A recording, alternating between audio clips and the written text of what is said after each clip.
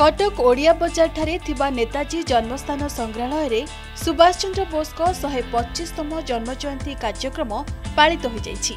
ଏଥିପାଇଁ ସକାଳୁ ସକାଳୁ ହିଁ ଚଳଚଞ୍ଚଳ ହୋଇଉଠିଥିଲା ଏହି ଅଞ୍ଚଳ।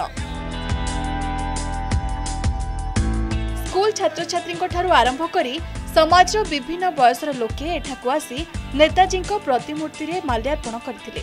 ପରେ ପରେ ସରକାରୀ କାର୍ଯ୍ୟକ୍ରମ ଅବସରରେ ସଂସ୍କୃତି ମନ୍ତ୍ରୀ ନେତାଜୀଙ୍କ ଜନ୍ମସ୍ଥାନ ସଂଗ୍ରହାଳୟରେ ପହଞ୍ଚି ନେତାଜୀଙ୍କ ପ୍ରତିମୂର୍ତ୍ତିରେ ମାଲ୍ୟାର୍ପଣ କରିବା ସହ ଜାତୀୟ ପତାକା ମଧ୍ୟ ଉତ୍ତୋଳନ କରିଥିଲେ। ନେତାଜୀଙ୍କୁ ପୁଷ୍ପମାଲ୍ୟ ଅର୍ପଣ ମାଧ୍ୟମରେ ଶ୍ରଦ୍ଧାଞ୍ଜଳି ଜ୍ଞାପନ କରାଯାଇଛି ଏବଂ ଜାତୀୟ ପତାକା ଉତ୍ତୋଳନ କରାଯାଇ ଏବେ କିଛି ଚିତ୍ରକାରମାନଙ୍କର ତାଙ୍କର ଚିତ୍ରକଳା ललित कला एकाडेमी माध्यम प्रदर्शन कर Netaji Subhash ji is our leader is a son of prestigious son of our country our soil is the man first announced in the radio, Mahatma Gandhi ji as father of this nation. See, ଗୋଟେ ବଡ଼ freedom fighter.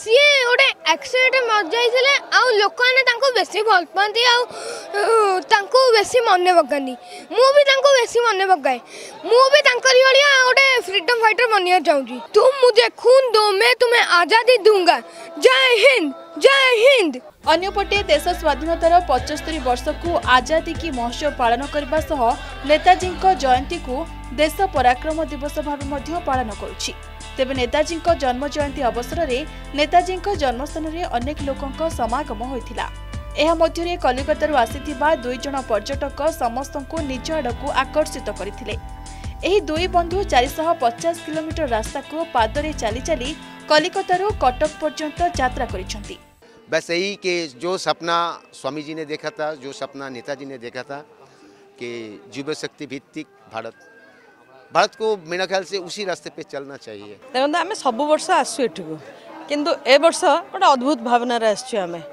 आम समस्त ओडियांकर छाती कुंड मोट हो विशेष भाव कटकिया जो मटीर पुह नेताजी सुभाष बोस, आज जहाँ को इंडिया गेट्रे स्थानित कर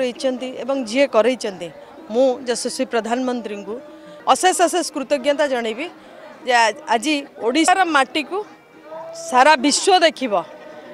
ଇଣ୍ଡିଆ ଗେଟ୍ରେ ଷ୍ଟାଚ୍ୟୁ ନିର୍ମାଣ ହେଇଛି। ଇଏ ଓଡ଼ିଶା ପାଇଁକା ଗର୍ବ ଖାଲି ନୁହଁ ଇଏ ସାରା ଭାରତବର୍ଷ ପାଇଁ ଗର୍ବ। ନେତାଜୀଙ୍କର ତାଙ୍କର ଯେତେବେଳେ ଅଣତିରିଶ ବର୍ଷ କି ତିରିଶ ବର୍ଷ ହେଇଥିଲା ସେଇ ବୟସରୁ ଯେତେବେଳେ ଆମର ଆଜାଦ ହିନ୍ଦ ଫୌଜ ଗଢ଼ୁଥିଲେ ନେତାଜୀ ସେଇ ସମୟର ବିଶେଷ କରି କାହାଣୀମାନେ ରହିଛି। ଏଇଠି ରହିଛନ୍ତି ଆଜାଦ ହିନ୍ଦ ଫୌଜର ଉଁ, ସୈନ୍ୟମାନେ ଏପଟରେ ଅଛନ୍ତି ଦେଖି ଆସନ୍ତୁ। ତାଙ୍କର ଗୋଟେ କନସେପ୍ଟ ହେଇଛି। ଯାହାଫଳରେ ଏଇଟା ଜାଣିପାରିବେ ଯେ ଏଇଟା ସେଇ ସମୟର ଉଣେଇଶହ ପଇଁଚାଳିଶ ମସିହା ଭୋଜ ଗଢ଼ା ହେଇଥିଲା ସେହି ସମୟରେ ଆମକୁ ଖୁସି ଲାଗୁଛି ଯାହା ହଉ ନେତାଜୀଙ୍କର ଶହେ ପଚିଶତମ ଜୟନ୍ତୀରେ ମୁର୍ମୟ ମୂର୍ତ୍ତି ଶିଳ୍ପୀମାନଙ୍କୁ ସ୍ଥାନ ମିଳିବାରୁ ମୂର୍ତ୍ତିଶିଳ୍ପୀମାନେ ବି ବହୁତ ଖୁସି ଅଛନ୍ତି ସେଥିଯୋଗୁଁ ଏହି ଅବସରରେ ଜନ୍ମସ୍ଥାନ ସଂଗ୍ରହାଳୟ ପରିସରରେ ଏକ ଭାସ୍କର୍ଯ୍ୟ କଳା ପ୍ରଦର୍ଶନୀର ଆୟୋଜନ ମଧ୍ୟ ହୋଇଥିଲା ভাস্কর্য কলা মাধ্যমে নেতাজীঙ্ক জীবনী আধারিত বিভিন্ন বিষয়বস্তুক প্রদর্শিত করে ললিত কলা একাডেমির তিরিশ জন শিল্পী କଟକରୁ ବିଶ୍ୱଜିତ ଦାସଙ୍କ ରିପୋର୍ଟ ଅର୍ଗସ୍ ନ୍ୟୁଜ୍